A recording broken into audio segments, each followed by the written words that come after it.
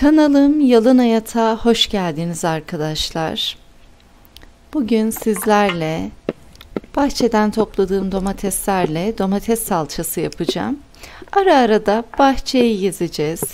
Salça yaparken nasıl vakit geçirdim görebilirsiniz. Vakit kaybetmeden hemen domates toplamaya başlayalım. Bahçedeki domates fidelerini kendimiz yetiştiriyoruz ve çok güzel domatesler çıkıyor.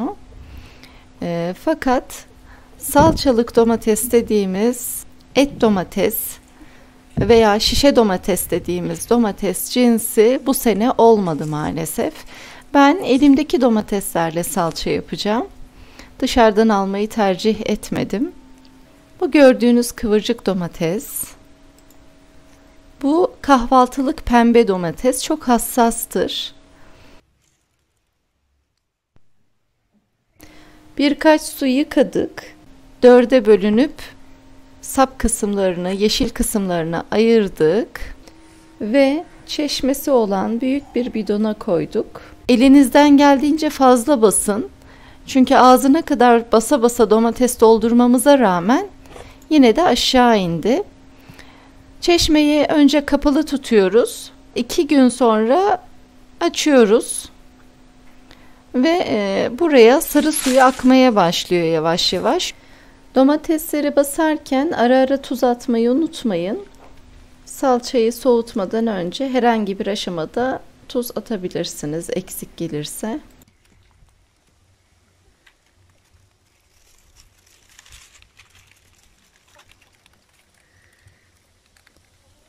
Gel, gel gel.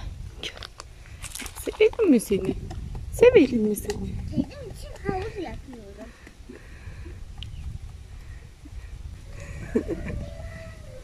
Anne, Canım.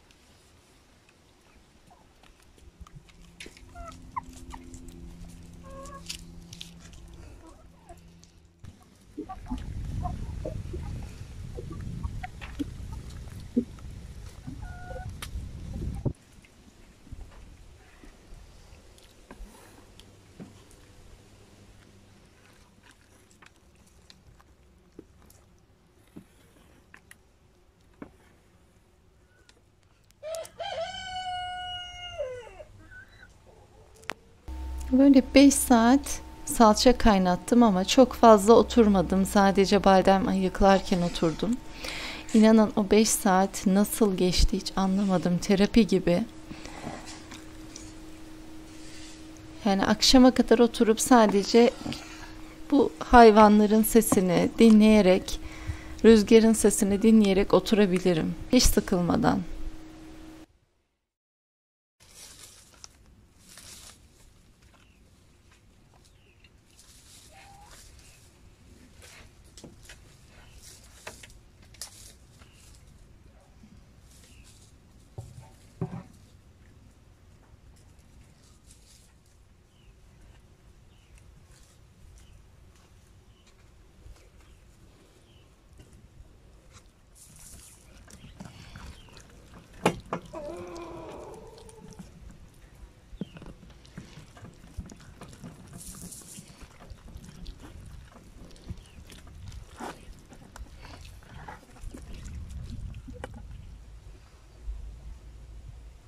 Şahane bir kokusu vardı yayılan. Salça kaynatırken eşim yanımdan geçti. Geçerken derin bir nefes aldı. Çocukluğumun kokusu, sokaklar eskiden hep salça kokardı bu dönemde dedi. E tabi imkanı olanların çoğu da e, gördüğüm kadarıyla yapmıyor. Keşke herkes, imkanı olan herkes yapsa. Biraz zahmetli bir iş, evet. Ama keyifli bir iş aslında hem de sağlıklı.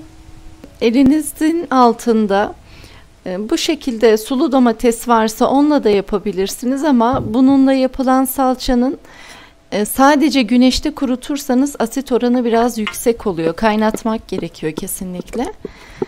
E, ama et domates varsa ben mesela 20 kilo et domates koyuyorsanız 20 kilo da sulu domates koymanızdan yanayım. Daha lezzetli bir salça oluyor. Ben bahçemizdeki domatesleri kullanmayı tercih ettim.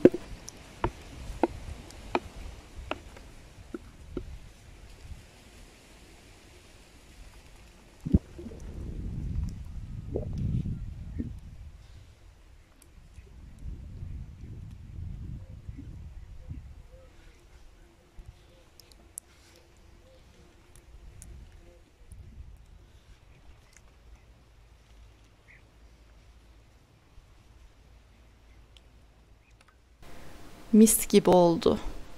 Tertemiz, içinde hiçbir katkı maddesi yok. Yapılabilir. Biraz etrafı batırıyor. Evet ama yapılabilir. Çok fazla güneş de yok aslında. Ee, rüzgarlı hava. Bu sene domateslerimiz geç oldu ve salçamız da dolayısıyla geçe kaldı. Hava da serinledi.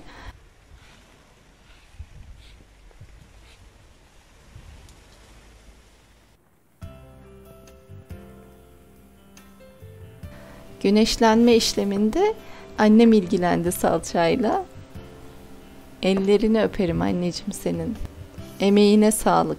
Bu şekilde 3 gün güneşlendikten sonra salçamızı kaldıracağız artık şişeleyeceğiz. Mis gibi oldu. Bu salçayı şişeledikten sonra yıllarca saklayabilirsiniz kapağınızı açmadığınız müddetçe.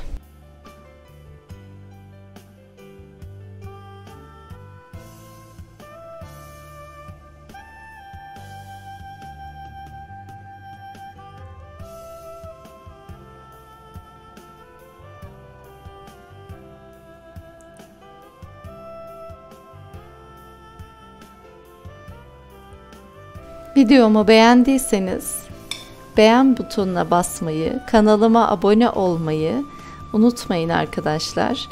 Yorumlara minicik bir kalp bırakırsanız eğer bana büyük destek olmuş olursunuz. Dolayısıyla bu video daha fazla kişiye ulaşmış olur. Bir sonraki videomda görüşmek dileğiyle sağlıkla kalın.